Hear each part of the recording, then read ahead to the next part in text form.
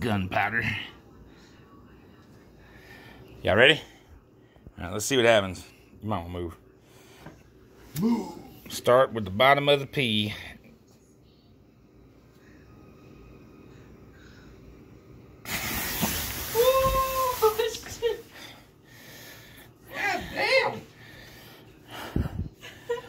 I hope you got that because I didn't. I didn't get it. Did you get it? I think I got it.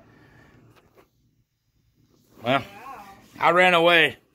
But that is the result. I don't know what is gonna what it's gonna look like when I clean it off. That's good, sure. I know that flamed up. Kind of looks good back here. When you get up close, it's a little spotty, but we'll see. When I tap it off, it might be okay.